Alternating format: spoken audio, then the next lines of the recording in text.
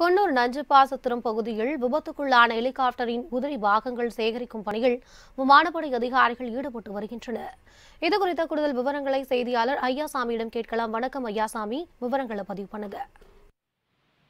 வணக்கம் பிரியங்கா.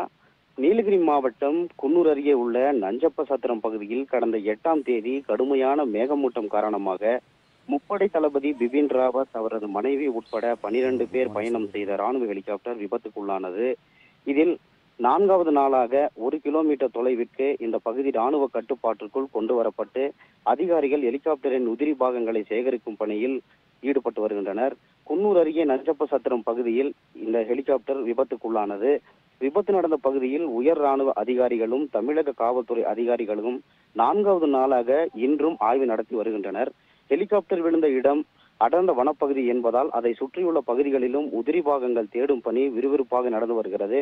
தொடர்ந்து நான்காவது நாளாக நடைபெற்று வரும் இந்த ஆய்வால் நஞ்சப்ப சத்திரம் முழுவதும் ராணுவ கட்டுப்பாட்டுக்குள் கொண்டு வரப்பட்டுள்ளது.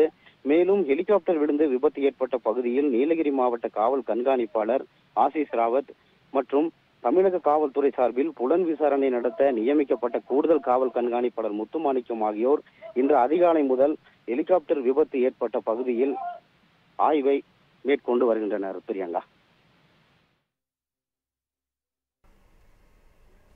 உங்களுடைய விவரங்களுக்கு நன்றி சாமி.